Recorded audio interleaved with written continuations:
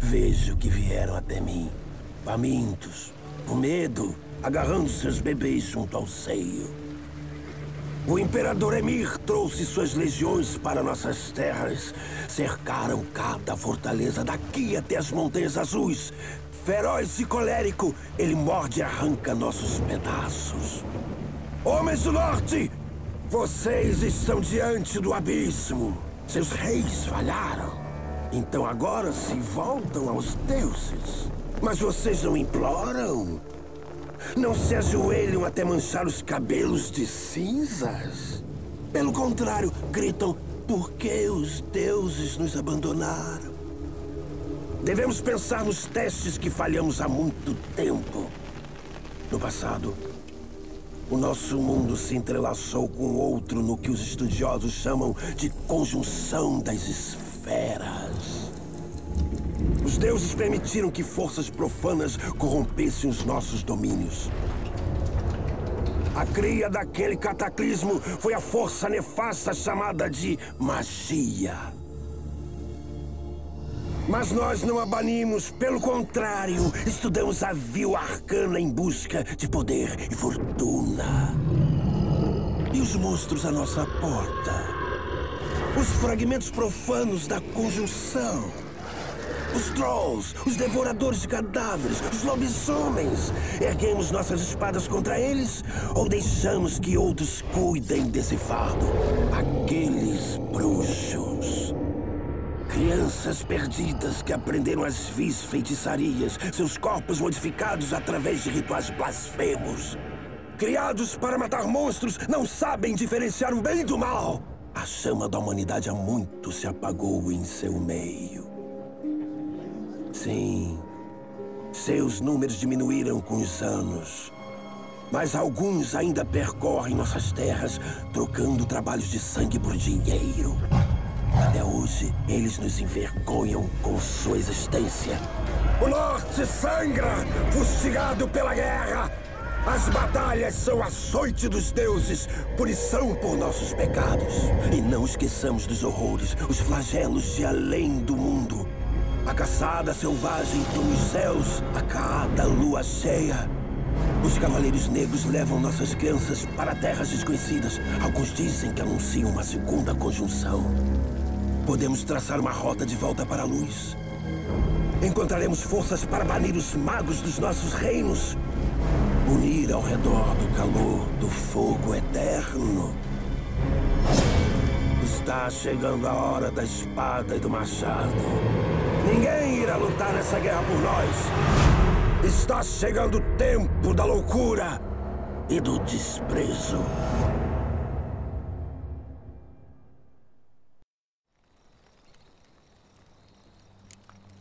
Lobos dormem noite adentro, morcegos voam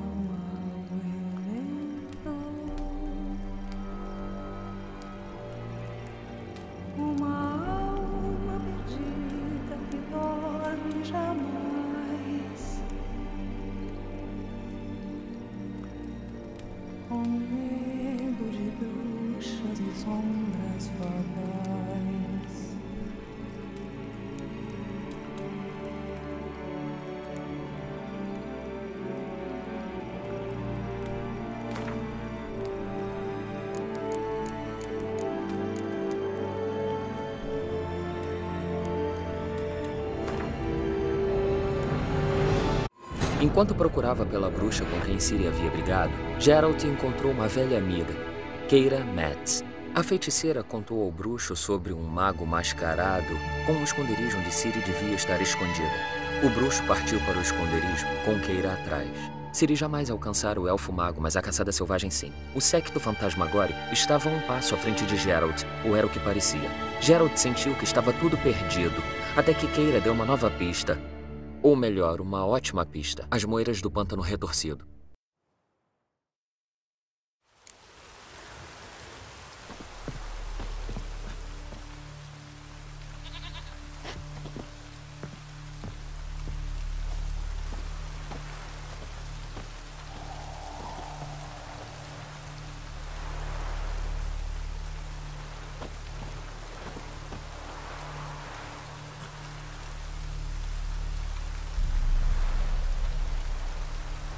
Que o fogo eterno ilumine o seu caminho.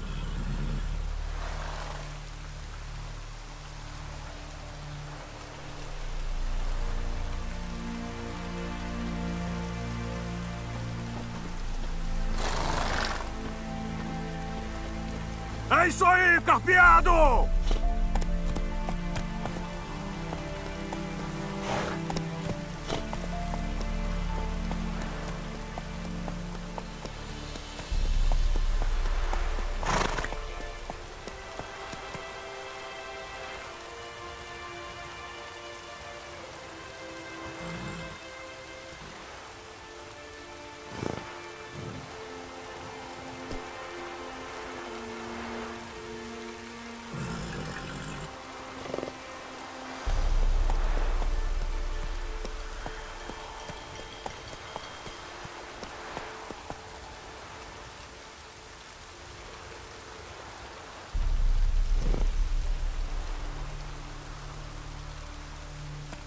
Vamos lá!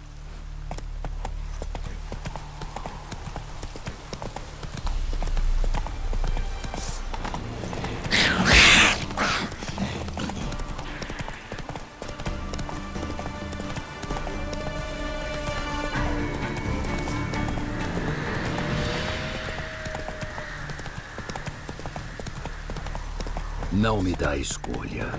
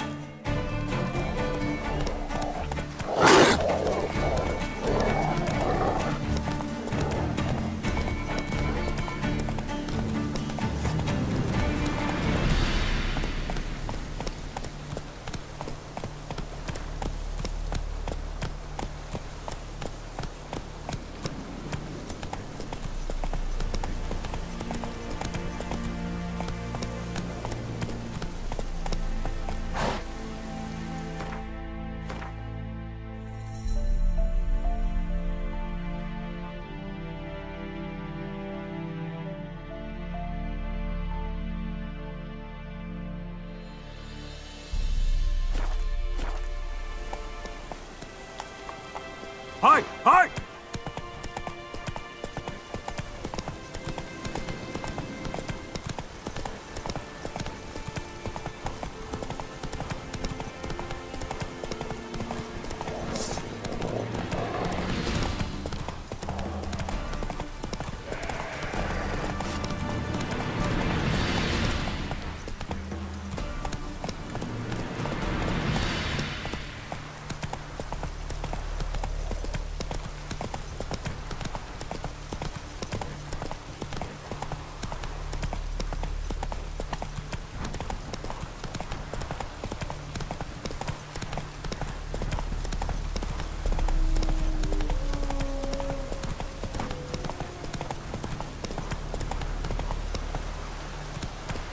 É isso aí, carpeado!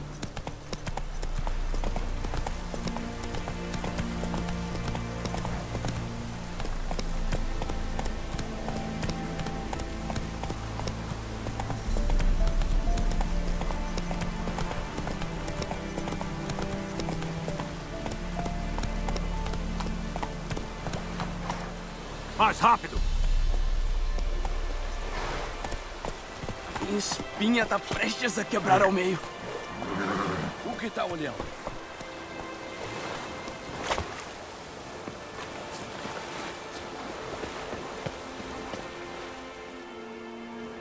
O que aconteceu aqui? Você é cego ou estúpido? É óbvio. Também é óbvio que é um bruxo. Pare de besteira e responda. Sei tanto quanto vocês, ou seja, nada. Só que com um pouco de estudo, cadáveres podem ser lidos como livros. Os Cavaleiros Negros lutaram contra os Redanianos pela ponte. Só estamos garantindo que ah, nada seja desperdiçado. Olha esta bela espada, por exemplo. A encontramos na correnteza. Quer comprá-la?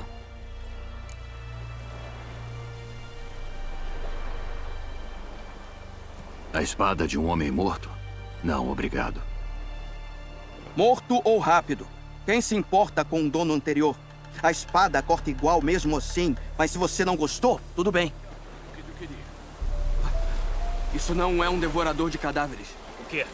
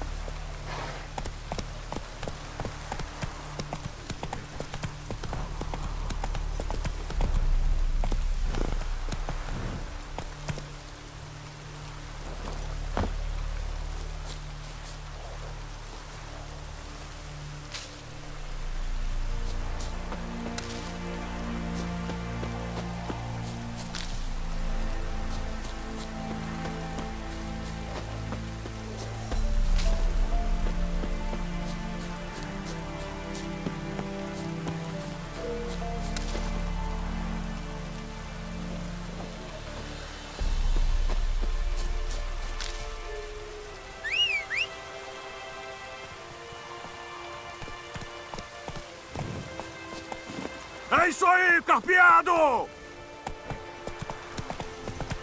Opa!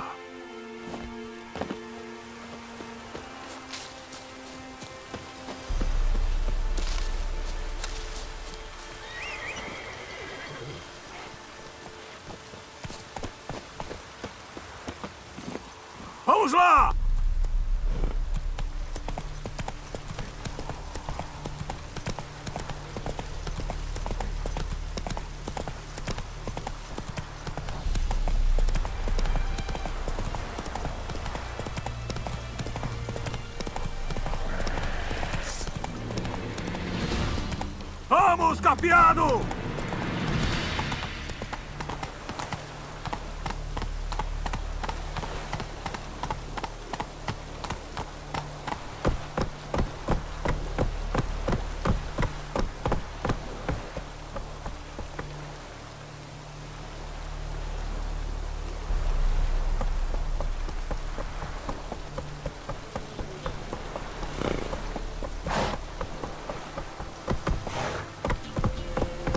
É isso aí, carpeado!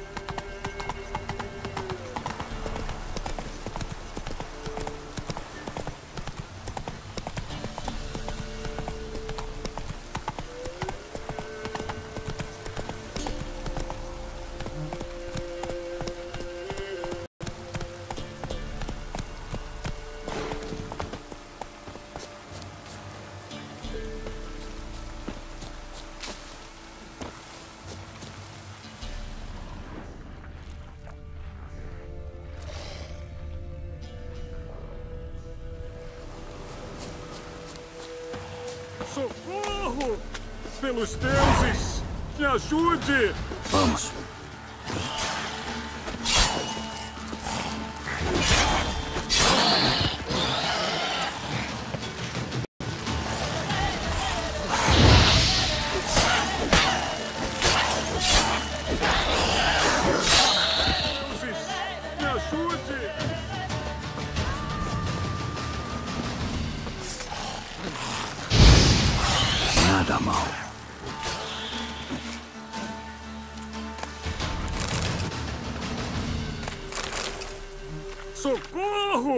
Está bem quente. Deuses!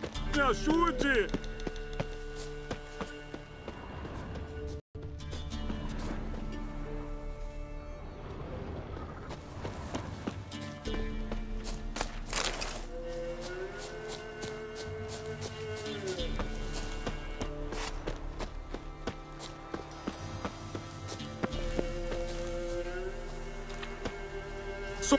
Eles com certeza teriam me comido vivo. Cadáveres devem atraí-los. Obrigado por não me deixar lá. Parece que ainda tem um pouco de sorte comigo. Sorte? Acho que poderia ser pior. Você foi infectado recentemente? É por isso que você transporta cadáveres? Quê? Não, é meu trabalho. E muito bem pago. O negócio é, você não é um bruxo nem um mago, então você não é imune. Não sou mutante sujo. Graças aos deuses. Não se preocupe, não. É que, bem, jamais peguei doença alguma.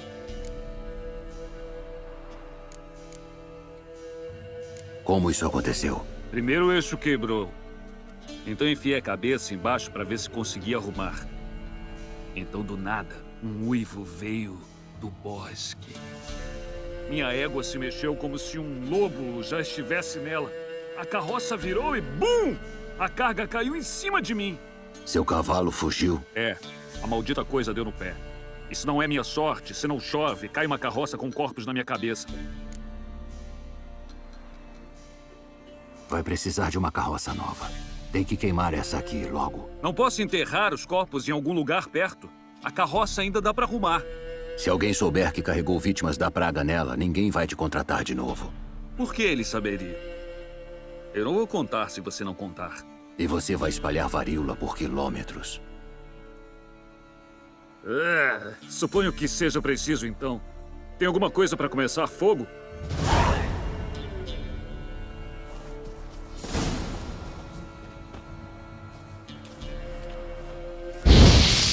Ora, ora. Acendeu como um fardo de palha. Se não é minha sorte topar com você, obrigado pela ajuda e pelo sábio conselho. Aqui vão mais algumas. Vá pra casa, queime essas roupas e esfregue bem seu corpo todo. Claro, claro.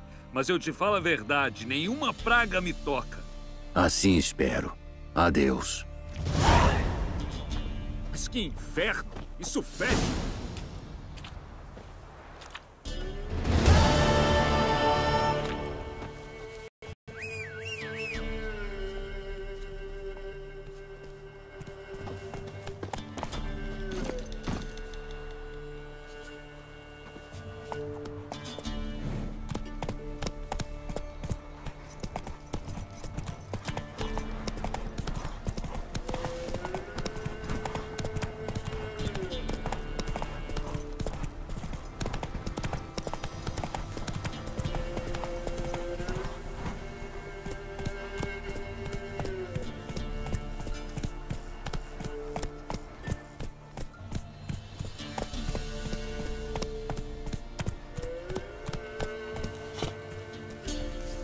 Já enfrentou um bruxo antes?